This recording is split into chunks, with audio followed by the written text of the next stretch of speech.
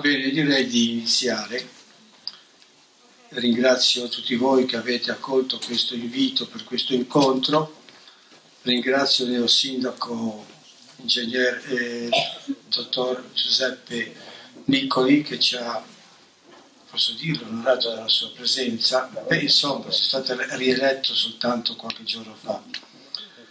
E, e iniziamo questo incontro che è molto importante perché, eh, come avete visto anche dai manifesti, i temi da trattare sono due temi all'ordine del giorno a noi. Il primo tema è quello del castello, il secondo tema è quello della, nuova, della costruenda nuova galleria a Caponoli. Ci ho detto, lascio la parola alla professoressa Claudia Rotta. Prego, professoressa. Grazie. Buonasera a tutti, mi sentite? Fino là in fondo, sì? Poi di tutto desidero scusarmi a titolo personale ma anche da parte dei miei amici eh, per aver rinviato la volta scorsa e all'ultimo momento la nostra riunione. Eh, c'erano stati dei segnali negativi e poi mancava un permesso scritto che ritenevamo fosse necessario avere eh, per fare quella riunione in un momento che era ancora un periodo elettorale e abbiamo quindi giudicato più opportuno rinviare a una data meno calda. Eh, vedete che però appena è stato possibile, primo sabato possibile, siamo ritornati qui per riprendere questo, per aprire questo discorso. La, la serata si chiama eh, Noli nel cuore era eh, il nome che il professor Paggi aveva proposto nell'agosto 2012 per creare un'associazione composta da nolesi e da villeggianti storici che avrebbero dovuto riunirsi eh, periodicamente per parlare dei problemi del paese, mettendo ciascuno la propria opinione e il proprio dissenso.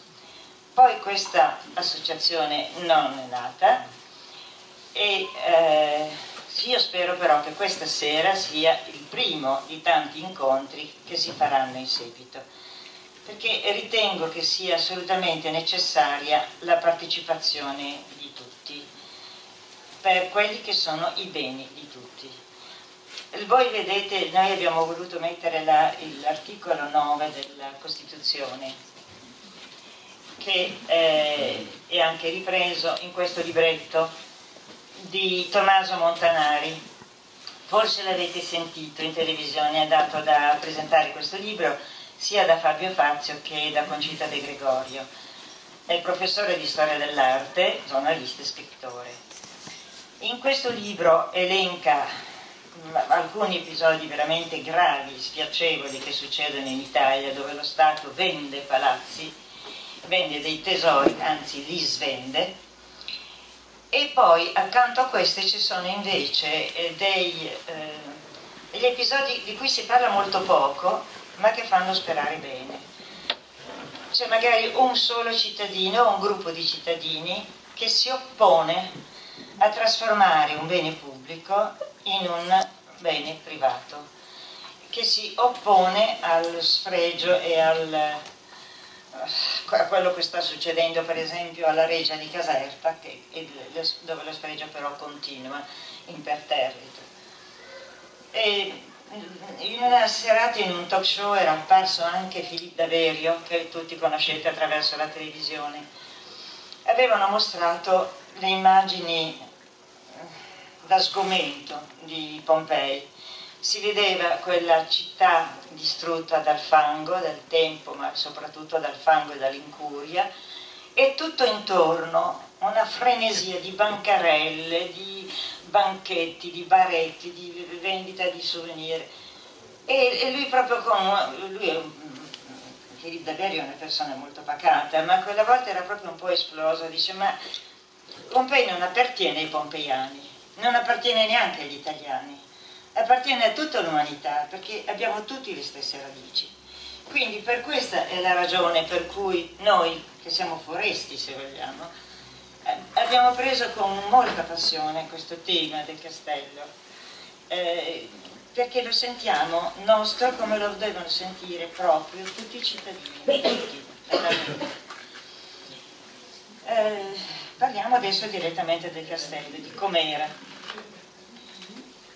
Io ho cercato di andare un po' indietro con gli anni, negli anni 40 naturalmente c'era la guerra e nessuno si poteva occupare del castello, ma dagli anni 50 in poi sono stata, ahimè sono abbastanza vecchia per essere eh, testimone diretta delle cose, eh, sono, eh, lo posso ricordare sempre abbandonato, eh, come se fosse un simbolo arroccato lassù, eh, senza vita e senza importanza. Eh, si fanno ogni anno i cortei storici, si parla della Repubblica di Noli, però il castello rimane là. Ricordo che rimane là dimenticato, con un simbolo lontano. Ricordo che da bambina si partiva, io come la ciurma di, di amichetti, si andava su di corsa lungo quella strada che era stata tracciata dai signori Corradi che hanno costruito la villa che è lassù che c'è ancora adesso, quella con le finestre e il gazebo celesti. Questa strada, eh, fatta di mattoni messi di taglio e di eh, gradini di, di alzate di cemento, era sempre tenuta in modo perfetto. Adesso è quasi scomparsa, la vedrete in un filmato. Dopo, finita questa bella strada, cioè arrivata a Villa Corradi, c'era mm, neanche un sentiero, c'era qualche passo un po' difficile, poi sì, si accedeva a un sentiero e si poteva girare tutto il castello e là noi eravamo felici perché avevamo sempre l'impressione di essere arrivati in un'isola deserta che ci apparteneva. Da adulta quest'isola deserta mi era comunque già molto cara, affascinante con quel colore della terra che era il colore delle pietre antiche delle mura. E poi da madre ci ho portato il mio bambino. Era sempre aperto. Aperto di giorno e aperto di sera quando ci si riuniva con gli amici intorno alla chitarra a cantare. Questo dagli anni 40 agli anni 90 abbandono totale. Nel 92 eh, sindaco, la signora Carla Boragnapois, si sono fatti eh, i primi lavori, cioè un lavoro di restauro conservativo ben fatto, modesto, forse anche modesta la cifra di cui allora si disponeva, eh, modesto ma corretto. Tutto faceva presagire che avendo avuto questo, questo restauro, quindi le mura più pericolanti eh, erano state messe in sicurezza, il castello sarebbe stato ancora aperto per altri 50 anni. Io ricordo quando salivo prima di questi lavori, da bambina, mia nonna mi diceva evita di andare su quando c'è tanto vento. E mio nonno di rincalzo diceva ma guarda soprattutto da che parte tira il vento, perché ogni tanto veniva giù qualche pietra. Dopo il 92 non avrebbe dovuto esserci questo pericolo, però è inspiegabile perché il castello sia stato chiuso. Io ho chiesto ai noleggi, ho chiesto ai miei amici villeggianti storici eh, se qualcuno si ricordava quando, chi e perché aveva chiuso il castello, ma nessuno ha saputo dirmelo.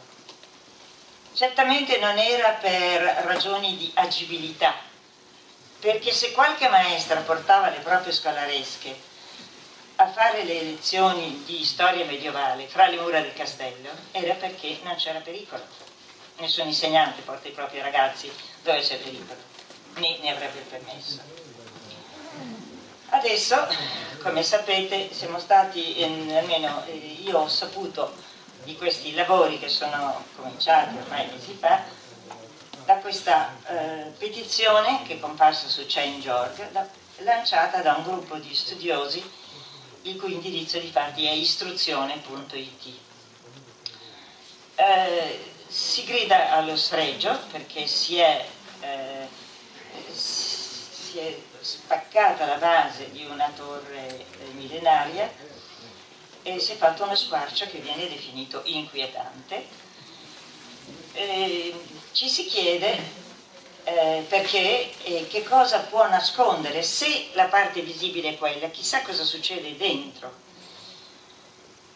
e quindi si è andati a vedere sul sito del comune dove era stato postato nel luglio del 2013 eh, eh, un documento che è fuori che se volete ritirarlo c'è, chi non ha il computer lo può leggere lì, in cui si parlava del castello finalmente riaperto, finalmente restituito ai cittadini, questo che è il simbolo della città, eccetera. E si descriveva un pochettino quello che si, aveva, si era iniziato a fare.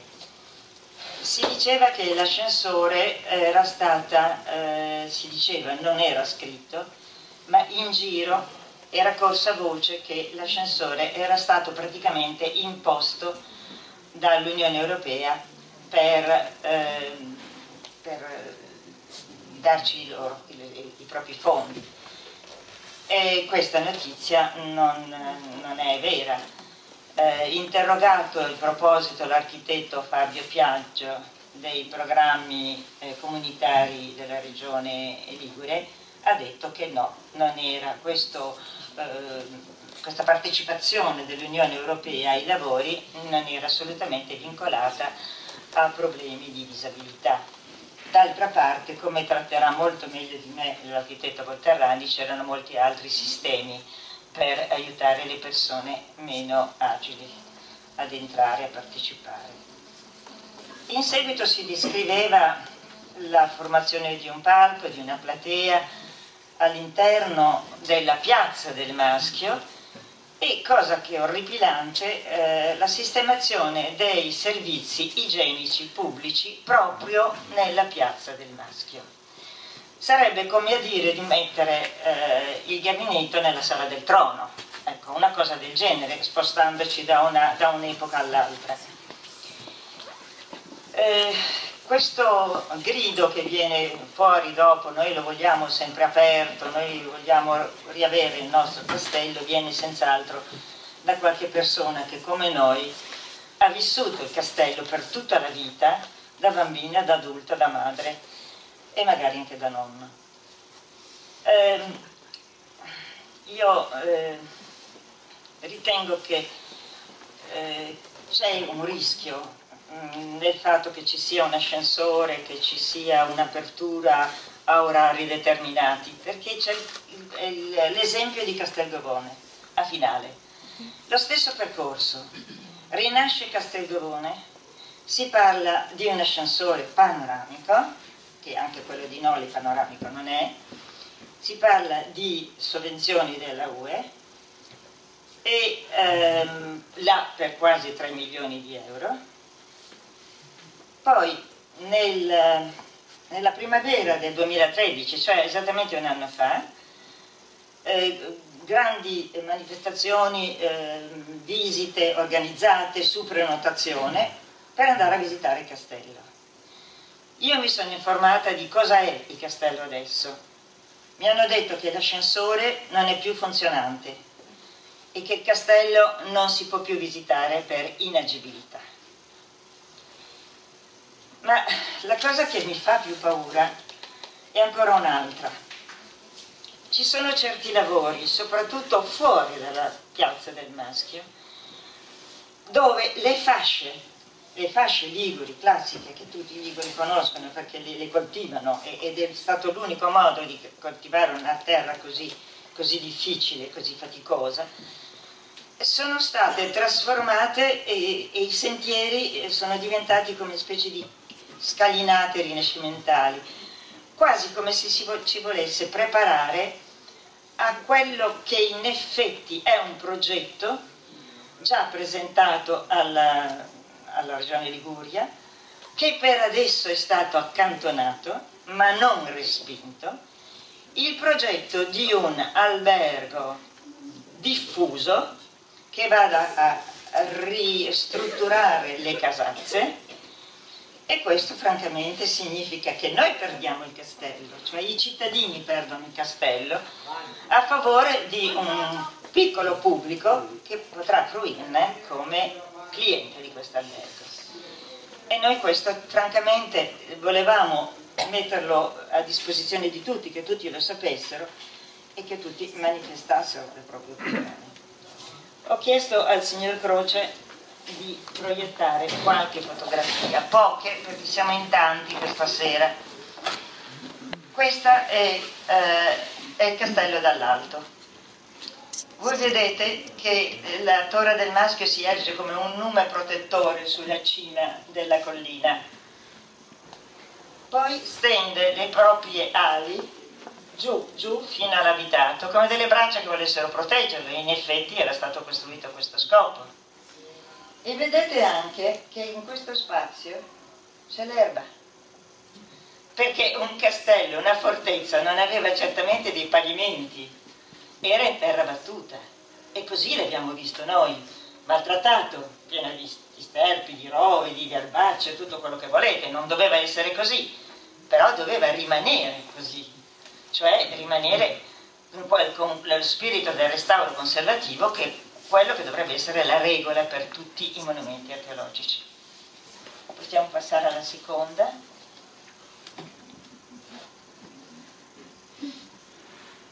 Eccoci. Ecco qui le fasce di cui vi parlavo. Qui gli olivi, no? Scusi. Ecco, vedete che erano le fasce che al di fuori delle mura sono state un po' corrotte e contaminate dalla strada, ma all'interno erano assolutamente regolari. Adesso non sono più così. Possiamo andare avanti. Queste sono fotografie preziosissime che ha scattato molti anni or sono il signor Croce, che ci ha messo gentilmente a disposizione, e vedete il clima che si respirava, proprio il clima di una campagna, di una cosa naturale, di una cosa che noi cittadini soprattutto cercavamo quando venivamo al mare e c'era parecchia gente e soprattutto c'erano moltissimi stranieri. Io avevo la fortuna di abitare ai piedi di questo castello ai piedi della collina del castello e incrociavo, e incrocia, incrocio ancora adesso, molte persone che mi chiedono come si fa ad andare al castello. Da piccola, da giovane, ero fiera di accompagnarli fino su e di spiegare che cos'era, com'era, come fosse una, un, un, bene tutto mio. Eh, adesso ho dovuto sempre dire no, è chiuso perché non lo so. E mi guardavano con un'aria quasi di riprovazione, stupiti, ma anche un po' scontenti, dice ma questa che abita qua, sai che non sa. Allora possiamo andare avanti, qui siamo, ecco, questo vedete proprio, lo vedete meglio da vicino, vedete com'era lo spazio della, della piazza del Maschio. Era prima dell'intervento eh, della signora Bologna Fois, vedete che non c'è ancora nessuna eh, barriera. E noi passavamo lì ma non siamo mai venuti, forse è andata molto bene. E poi ancora l'ultima. Ecco questa era vedete com'era abbandonato. Però era un sito naturale così come era nato io ho finito e vi lascio all'amica Volterrani eh, che vi farà, illustrerà il filmato e le fotografie scattate, fatti, girato il film, scattate le foto il 22 febbraio di quest'anno, quindi eh, già parecchio tempo fa, quindi i lavori sono andati avanti, ma vi dà un'idea di cosa è stato. E desidero ringraziare pubblicamente i giornalisti Mario Molinari e Marco Travaglio del Fatto Quotidiano per averci fatto dono di queste immagini. Grazie.